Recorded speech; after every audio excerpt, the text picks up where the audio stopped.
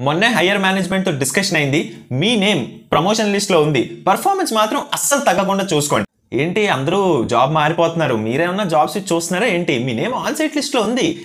Very soon. మిమ్మల్ని on site పంపించడానికి చూస్తున్నాం. కంగారు ఎందుకు? ఈసారి మీకు శాలరీ హైక్ మాత్రం గట్టిగా ఉంటుంది. అందరికన్నా ఎక్స్ట్రా వచ్చేటట్టు చూస్తాను మీ ఎఫర్ట్ నేను ఐడెంటిఫై చేశాను. ఈసారి మీ శాలరీ హైక్ ఖచ్చితంగా ఎక్కువ ఉంటుంది. ఈ వీడియో ఎవరిని ఉద్దేశించో ఎవరినో ఏదో అనాలని అయితే కాదు. కాకపోతే ఏంటంటే మనం కొన్నిసార్లు కొన్ని విషయాల్లో డెస్పరేట్గా ఉన్నప్పుడు ఎదుటోళ్ళు ఏది చెప్పేసినా కూడా అందులో సాధ్య సాధ్యాలు ఏంటో మనం చూసుకోకుండా మనం నమ్మేస్తామన్నమాట. సో అందుకనే ఈ వీడియోలోని మీకు త్రీ పీపుల్ ఎగ్జాంపుల్స్తోని నేను చూసినవి. మనం ఇలాంటి సిట్యువేషన్స్లోని ఎలా డీల్ చేయాలి లైక్ ఎలా ఇంటర్ప్రెట్ చేసుకోవాలి ఇది నిజమా? లేకపోతే ఆ సిట్యువేషన్ హ్యాండిల్ చేయడం కోసం జరిగిందా అని.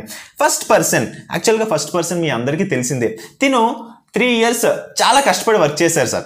వర్క్ చేసిన తర్వాత సార్ మనం ఎంత ప్రాజెక్ట్లో తోపైనా ఎంత కష్టపడిపోయి పని చేసేసినా కూడా లాస్ట్కి మన శాలరీ పెరగలేదు అనుకోండి. ఒక పర్టికులర్ ఏజ్కి వెళ్ళిన తర్వాత మనకి ఇంత డబ్బులు అనేవి రాకపోతే కష్టం సార్. మన ఇంటి రెంటు మన ఫుడ్ మన ఎక్స్పెన్సెస్ ఇవన్నీ మనం ప్రాజెక్టులు ఎంత కష్టపడినా అవన్నీ ఆటోమేటిక్గా అయిపోవు. డబ్బులు ఖచ్చితంగా రావాలి. సో దీని ఏం చేశారంటే three three and half years తర్వాత కం కంపెనీ మారడానికి అయితే ట్రై చేశారు. ఎందుకంటే that is the only way you can get a significant amount of hike so తను ఏంటంటే అలా జాబ్ మారి కరెంట్ కంపెనీలో రిజైన్ చేసిన తర్వాత తన మేనేజర్స్ ఎవరైతే ఉన్నారో ఆబ్వియస్లీ అన్ని కంపెనీస్లోనైనా ఎవరైతే రిజైన్ చేస్తారో రీటైన్ చేసుకోవడానికి అయితే నైంటీ పర్సెంట్ ట్రై చేస్తారు సార్ ఆ మేనేజర్ ఏం చెప్పారంటే ఉండిపోవచ్చు కదా మేము మీకు ఆన్సైట్ ఇస్తాం. ఆబ్వియస్లీ మీరు త్రీ ఇయర్స్ చాలా బాగా పర్ఫామ్ చేశారు. మీ అప్రైజల్లో అన్నింటిలో అది కనిపిస్తుంది.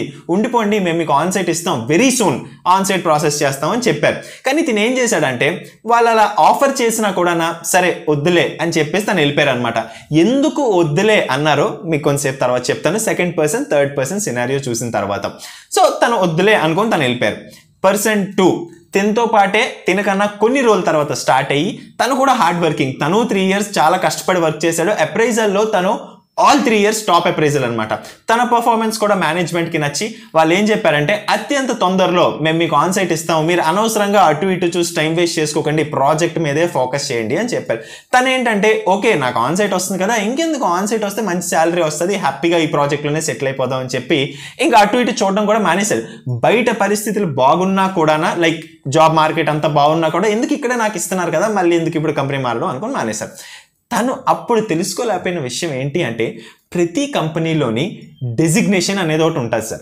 డెసిగ్నేషన్ అంటే ఏంటంటే మనం ఆన్ సైట్కి ఎలిజిబుల్ అవ్వాలి అంటే మనం ఒక సర్టెన్ డెసిగ్నేషన్లో ఉండాలి. చాలా కంపెనీస్లోని suppose level one level two level three level four ఉన్నాయి అనుకుందాం. లెవెల్ టూ అండ్ అబవ్ మాత్రమే ఆన్ సైట్కి ఎలిజిబుల్ ఓకే మీరు అంటారు అదేంటి? వన్ ఇయర్ రోడ్ కూడా వెళ్ళిపోయాడు కదా అంటే కొన్ని మందిని వాళ్ళు పంపించాలనుకుని పంపించవచ్చు బట్ ఒక ఫుల్ టైం దాంట్లో వెళ్ళాలి అంటే ఒక సర్టెన్ క్యాడర్ అయితే ఉంటుంది. ఈ సెకండ్ పర్సన్ ఎవరైతే ఉన్నారో నాకు ఆన్ సైట్ వచ్చేస్తుంది. వీళ్ళు ఇస్తారన్నారులే నేను ఇంక ట్రై చేయడం ఎందుకు అనుకొని వదిలేసిన అతను ఆ డెసిగ్నేషన్లో లేడు.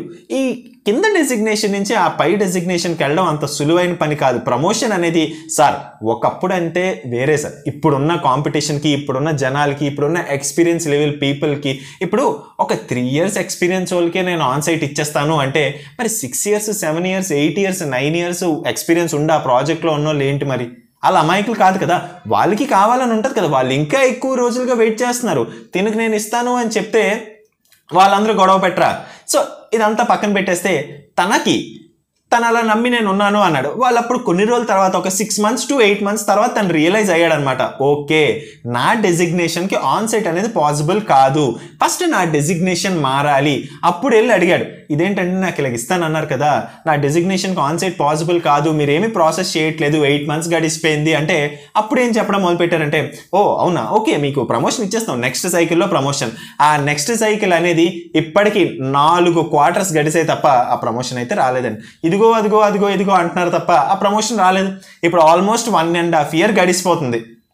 ప్రమోషన్ రాలేదు ఆన్ సైట్ రాలేదు అక్కడే ఉన్నాం. పోనీ with in the company hike మనకు అందరికీ తెలిసిందే ఆల్మోస్ట్ అన్ని కంపెనీస్లోని మ్యాక్సిమం ఒక టెన్ పర్సెంట్ ఇప్పుడు టెన్ ల్యాక్స్ మీద టెన్ పర్సెంట్ వేసుకున్నా కూడా టెన్ నుంచి లెవెన్కి వెళ్తాం. సిగ్నిఫికెంట్ చేంజ్ అయితే ఉండదు sir. Overall like in hand మనకి ఎంతైతే మంత్లీ వస్తుందో సిగ్నిఫికెంట్ చేంజ్ అయితే ఉండదు. తిను కానీ ప్రాపర్గా ఐడెంటిఫై చేసుకోగలిగితే అంటే లైక్ ఎస్ నా క్యాడర్కి నా డిజిగ్నేషన్కి ఇది పాసిబుల్ కాదు. నాకు ఇన్ని మంత్స్ పడుతుంది ఆ డిజిగ్నేషన్కి వెళ్ళడానికి. అక్కడి నుంచి మళ్ళీ on site processing visa processing ఇవన్నీ వెళ్ళడానికి.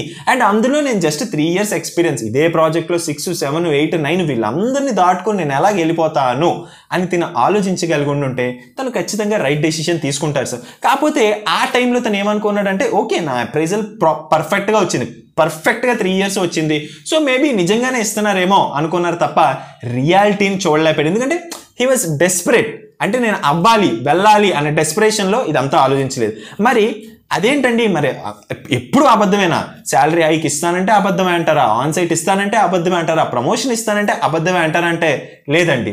థర్డ్ పర్సన్ ఎగ్జాంపుల్లోని నాకు తెలిసిన అతనే సెవెన్ ఇయర్స్ ఎక్స్పీరియన్స్ అనమాట దానికి ప్రమోషన్లు అన్నీ అయిపోయి తను ఆన్ సైట్కి తను ఉన్న డెసిగ్నేషన్కి ఎలిజిబుల్ ప్రాజెక్ట్ పంపించాలి అనుకుంటే పంపించేయగలదు. కాకపోతే తను అడుగుతూ ఉన్నారు అది అవుతలేదు అడుగుతూ ఉన్నారు అవుతలేదు. తను ఏం చేశాడంటే అప్పుడు ఇంటర్వ్యూ ఇవ్వడం స్టార్ట్ చేశాడు. ఒక ఇంటర్వ్యూ వచ్చింది. కంపెనీలో రెసిగ్నేషన్ పెట్టలేదు. బట్ మేనేజర్కి ఏంటంటే చూపించాడు ఇదిగో ఇది నా ఆఫర్ లెటర్ రేపు మాపు నేను రెసిగ్నేషన్ పెట్టేస్తాను అని. అప్పుడు మేనేజర్ ఏం చేశారంటే నేను మీకు ఆన్సైట్ ఇస్తాము వెయిట్ చేయండి అని చెప్పారు. విత్ ఇన్ సిక్స్ మంత్స్ ఆయన ఆన్సైట్ వెళ్ళిపోయారు అనమాట ఆల్రెడీ ఇప్పుడు తన ఆన్సైట్లోనే ఉన్నారు. ఇక్కడ ఏంటి వచ్చింది కదా. వాళ్ళు చెప్పారు. వచ్చింది. కాకపోతే ఏంటంటే సాధ్య సాధ్యాలు సెకండ్ పర్సన్ ఏంటంటే సాధ్య సాధ్యాలు చూసుకోలేదు. థర్డ్ పర్సన్ ఏంటంటే సిచ్యువేషన్ కరెక్ట్గా అర్థం చేసుకున్నాడు. ఓకే నేను కరెక్ట్గా ఒక సెవెన్ ఎయిట్ ఇయర్స్ ఎక్స్పీరియన్స్లో ఉన్నాను. నా పైన ఎవరో ఆన్సైట్ కోసం వెయిట్ చేయట్లేదు. అందరూ నా కిందోళ్ళే సో వీళ్ళు పంపించాలి అనుకుంటే ఇమీడియట్ నేనే ఉన్నాను. సో ఇలాంటి టైంలో నేను రిజిగ్నేషన్ చేసి నేను వెళ్ళిపోతాను. అంటే ఖచ్చితంగా వీళ్ళు నాకు ఆఫర్ చేస్తారు. ఆఫర్ చేయడమే కాకుండా ఖచ్చితంగా పంపిస్తారు. అండం తిని వెళ్ళడం కూడా జరిగింది. కాకపోతే జనరల్ సినారియోలో సినారియోలోని మనం సెవెన్ ఎయిట్ ఇయర్స్ ఎక్స్పీరియన్స్ వచ్చాక మనం వెయిట్ చేసాం అనుకోండి నో ప్రాబ్లం ఖచ్చితంగా జరిగే ఛాన్స్ అయితే ఉంది. బట్ ఈ త్రీ ఫోర్ ఫైవ్ ఇయర్స్ దగ్గర ఎక్కడైతే మనం ఉన్నామో అంటే ఎప్పుడైతే మనం సీరియస్గా జాబ్ స్విచ్ కోసం ట్రై చేస్తాం ఎందుకంటే first year generally three point three సిక్స్కో ఒక త్రీ పాయింట్ ఫైవ్కో త్రీకో ఎప్పుడో జాయిన్ అయితే ఫస్ట్ ఇయర్ అలా అలా తెలియకుండా అయిపోద్ది. సెకండ్ ఇయర్లో ఆలోచన మొదలవుద్ది. ఓకే నేను మారాలి. థర్డ్ ఇయరే మనం ట్రై చేస్తాం అనమాట అప్పటికి కొంచెం క్లారిటీ వచ్చి ఏం చదవాలి ఏం చదవకూడదు ఎలా ప్రిపేర్ అవ్వాలి అన్నీ తెలిసి మనం థర్డ్ ఇయర్లో మారుతాం. సో ఎక్కువ ఇలా మేము ఇక్కడే హైక్ ఇస్తాం ప్రమోషన్లు ఇస్తాం ఆన్ సైట్ ఇస్తాం. ఇవన్నీ కూడా ఈ త్రీ టు ఫైవ్ ఇయర్స్ మధ్యలోనే జరుగుతాయి. కాకపోతే మనం కానీ అలాగా సరే అనుకుంటే అలా డ్రాగ్ అవుతూ వెళ్తాయి. సో ఎప్పుడూ కూడా మన మేనేజర్ కానీ మన సీనియర్స్ కానీ మనకి ఏదైనా ఆఫర్ చేస్తే ఒక్కసారి సాధ్యం సాధ్యం ఎంత ఉంది? నా పైన ఎంతమంది దీనికోసం వెయిట్ చేస్తున్నారు? నాకు వాళ్ళందరినీ కాదు అనుకొని నాకు ఇచ్చే పాసిబిలిటీ ఉందా లేదా అనేది ఖచ్చితంగా చూసుకోండి. అండ్ ఫస్ట్ పర్సన్ విషయం మీకు చెప్తాను అన్నాను కదా తను ఎందుకు యాక్సెప్ట్ చేయలేదో? ఆ ఫస్ట్ పర్సన్ ఆల్రెడీ తన ప్రాజెక్ట్లోని చూస్తూ ఉన్నాడండి. అసలు ఏంటి మనకు కావాల్సిన రిక్వైర్మెంట్ ఏంటి? నాకు ఈ ఆన్సైట్ రావాలంటే నాకు ఏం కావాలి? నాకు ఏ ఉంది? నాకు ఏం లేదు. తను ఉన్న టైంకి తన పైన చాలా మంది వెయిట్ చేస్తున్నారు. ఒక నలుగురు. ఆ నలుగురిని కాదని తిని ఇచ్చే అంత అంత సీన్ సార్ ఎవరు అంత తోపేం కాదండి. ఒక ప్రాజెక్ట్లో మనం అనుకుంటాం తిను లేకపోతే ఇంక జరిగే పనే కాదు అని. అలా ఏం లేదండి. ఎవరు లేకపోయినా కూడా పని జరిగిపోద్ది. ఎవరో ఒకరు రిప్లేస్మెంట్ వస్తారు ఒక సిక్స్ మంత్స్ ఇబ్బంది పడినా కూడా తర్వాత అంతా సెట్ అయిపోతుంది. సో నేనే క్రిటికల్ రిసోర్స్ నా వల్లే అంతా నడుస్తుంది? ఆలోచన తీసేద్దాం. తీసేయాలి కూడానా? ఎందుకంటే ఎవరున్నా లేకపోయినా ఎవరో ఒకరిని ట్రైన్ చేసి ఆ ప్రాజెక్ట్ నడిపిస్తాం. కొన్ని రోజులు కష్టకాలం ఉంటుంది బట్ దాని తర్వాత మాత్రం అంతా స్మూత్గా అయిపోద్ది. సో ఎప్పుడైనా కూడానా మన మేనేజర్ కానీ మన సీనియర్ కానీ ఎస్పెషలీ రిజిగ్నేషన్ పెట్టిన టైంలోనే మీకు హైక్ ఇస్తాం ప్రమోషన్ ఇస్తాం ఆన్ సైట్ ఇస్తాం లేదా ఇంకేదో ఇస్తాం వర్క్ ఫ్రమ్ హోమ్ ఇస్తాం. ఇలాంటి ప్రామిసెస్ చేసినప్పుడు సాధ్యాసాధ్యాలు ఒక్కసారి మళ్ళీ ఆలోచించుకొని అప్పుడు ఆ రెసిగ్నేషన్ తీయాలా రెసిగ్నేషన్ ఉంచుకోవాలా లేకపోతే నార్మల్ టైంలో కూడా ఇస్తాము అంటే దాని గురించి మనం ఎక్కువ ఎక్సైట్ అవ్వాలా లేదా ఒకసారి ఆలోచించుకోవడానికి అయితే ట్రై చేయండి. ఈ వీడియోలో ఇన్ఫర్మేషన్ మీకు హెల్ప్ఫుల్ అనిపిస్తే వీడియో లైక్ చేయడానికి ట్రై చేయండి. ఛానల్కి కొత్తగా వచ్చినట్టయితే ఛానల్ని సబ్స్క్రైబ్ చేసుకోవడానికి ట్రై చేయండి.